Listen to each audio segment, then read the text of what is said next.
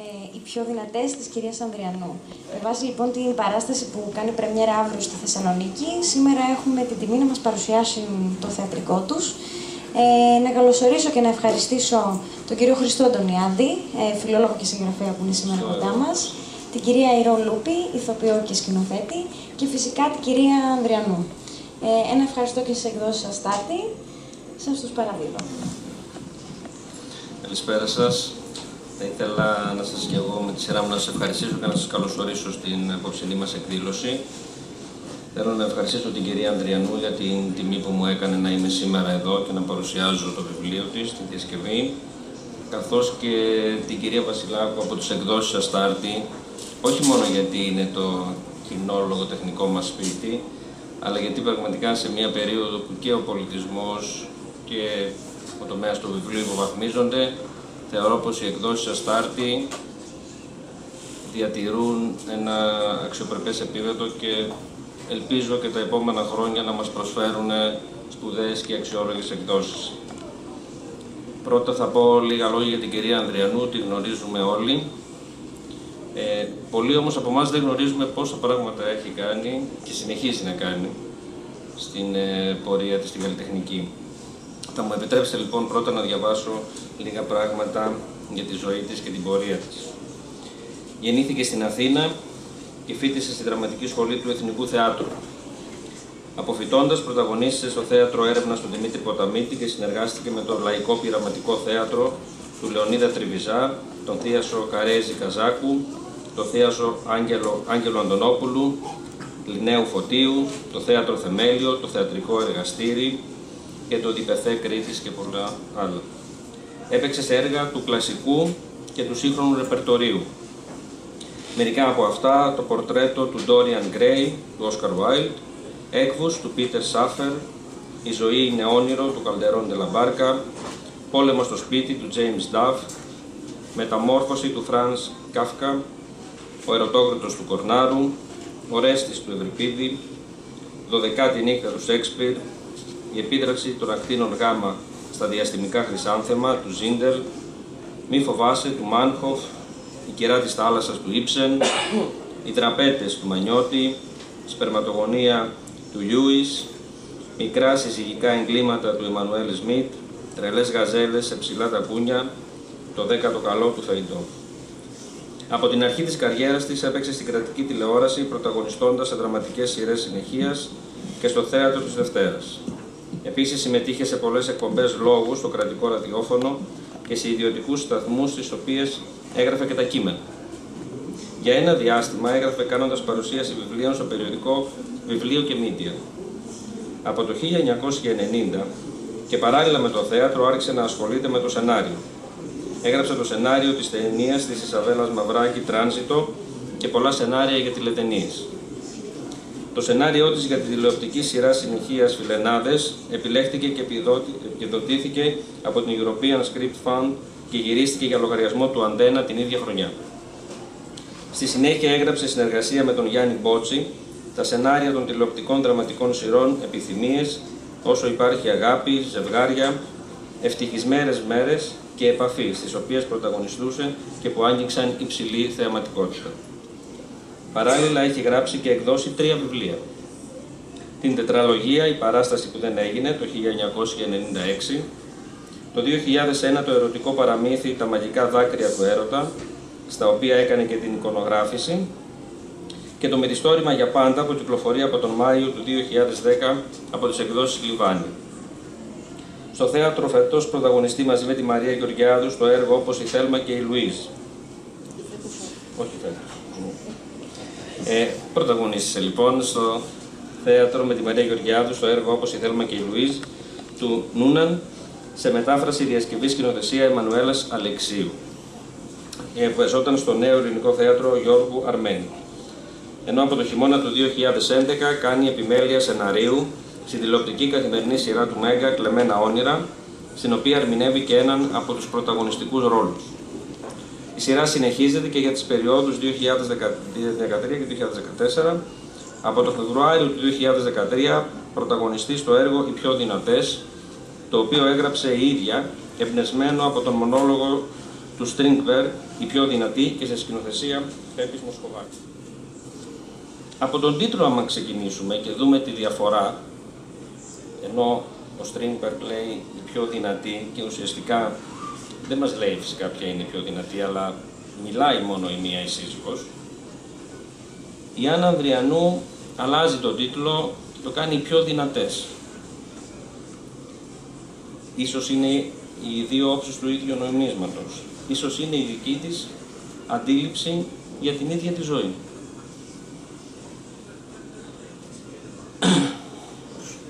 και ο Στρίνγκμπερ και η Άννα Ανδριανού αναφέρονται στο θέμα των ανθρωπίνων σχέσεων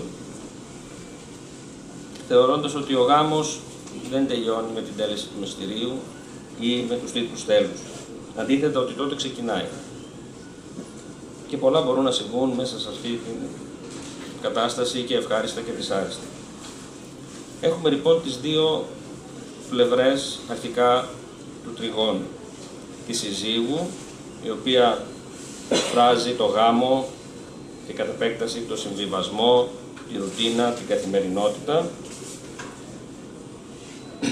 και από την άλλη της ερωμένης με το πάθος, τον έρωτα, το καινούριο, το αναπάντεχο αλλά και το εφήμερο.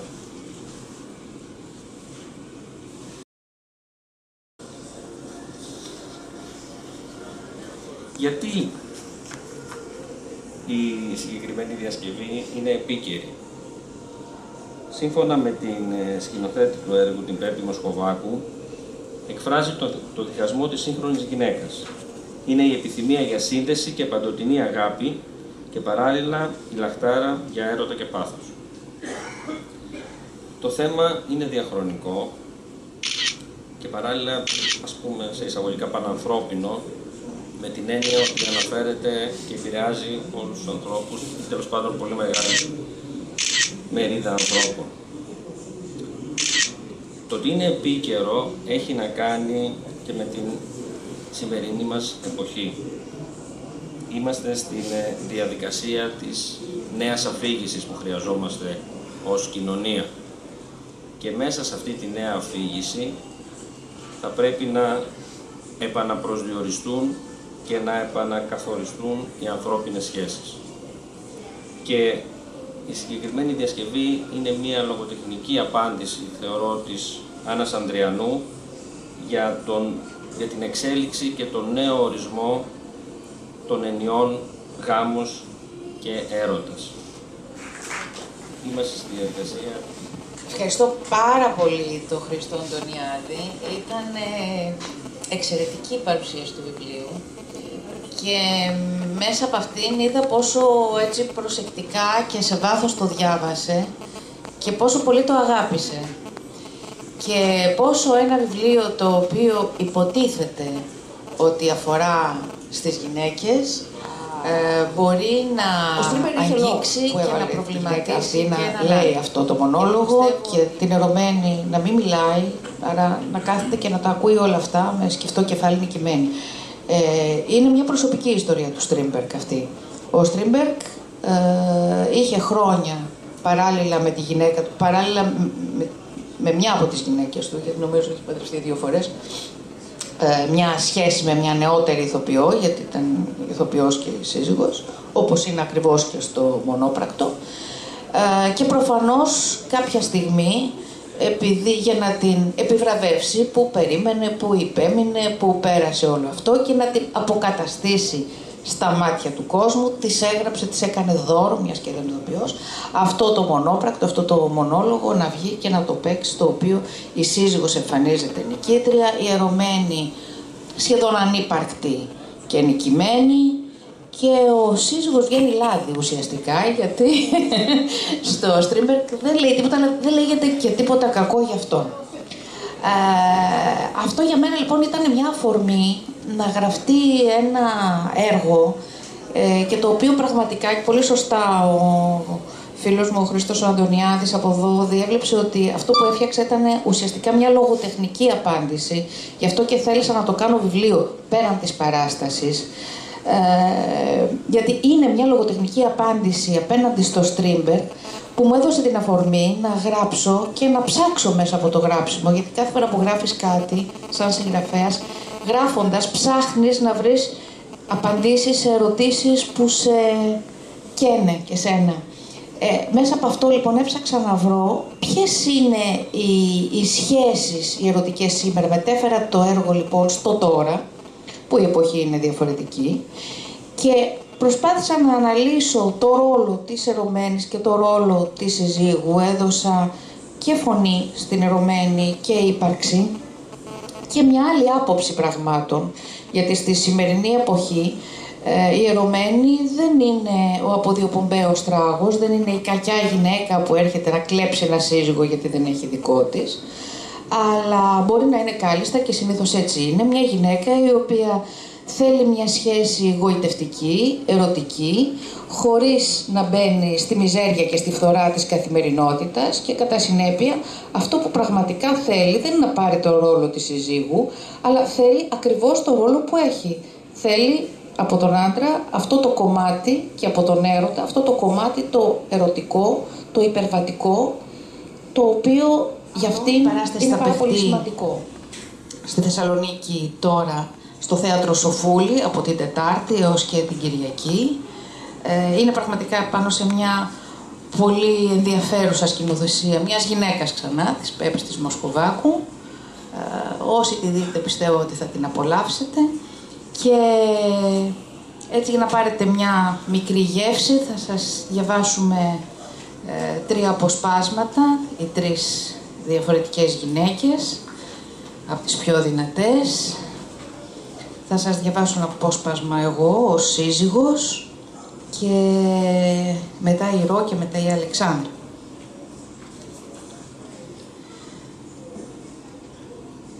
Οι παντρεμένες μιλάμε συνέχεια για τους άντρες μας. Είναι το επίκεντρο της ζωής μας.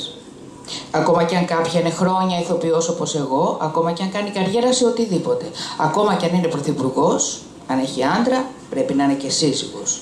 Αν θέλει φυσικά να το κρατήσει. Αλλιώς γίνεται μια γυναίκα που διαβάζει παραμονή Χριστουγέννων πίνοντας ένα μπαρ. Έχει βέβαια την ελευθερία της, αλλά ουσιαστικά είναι μόνη. Ακόμα και αν ζει το μεγάλο έρωτα. Άλλωστε ο έρωτας είναι τελικά μοναχικό συνέστημα.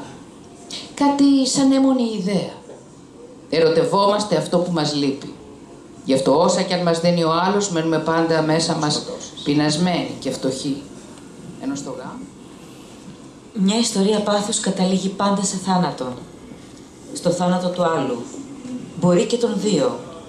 Ή στο θάνατο του έρωτα μέσα στο γάμο. Γιατί εκεί το πάθος χάνει οριστικά τη φλόγα του. Κι εγώ προτιμούσα πάντα να καίγομαι, παρά να διαρκώ. Και από τις τάχτες μου να βγαίνει ένας άλλος εαυτός, ένα άλλο πάθος. Και τελικά προτιμώ τους χωρισμούς από το τέλμα. Ναι, είναι καλύτερα να πονάς παρά να βαριέσαι. Όχι, δεν ήθελα να τη κλέψω τον άντρα της. Θα έλεγα μάλιστα ότι με βόλευε που ήταν παντρεμένος. Καταλαβαίνεις γιατί; Γιατί αυτό έδινε στο δεσμό. Τι άλλο έμενε να κάνουμε μαζί, να τρώμε πρωινό, να πηγαίνουμε μαζί σούπερ μάρκετ, να του μαζεύω τα άπλυτα, να τσακωνόμαστε για το κολόχαρτο στο μπάνιο, να πηδιόμαστε κάθε Μάη και Αύγουστο, να τον ακούω να ροχαλίζει; Με τον άντρα της μπορούσαμε να πετάμε παρέα. Και πετάξαμε όσο άντεξαν τα φτερά μας γιατί ξέρεις ποιο είναι το άλλο καλό; Μια τέτοια σχέση δεν την κρατάς όταν τελειώνει. Μόνο οι παντρεμένοι μπαίνουν στον κόπο να βαλσαμώνουν τον παλιό τους έρωτα και να τον διατηρούν σαν βρικόλακα. Οι εραστές, όταν τους τελειώνει, απλά χωρίζουν. Έλα.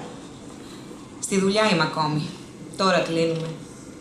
Να σου πω, ε, τελικά δεν νιώθω και τόσο κουρασμένη. Θέλω να σε δω.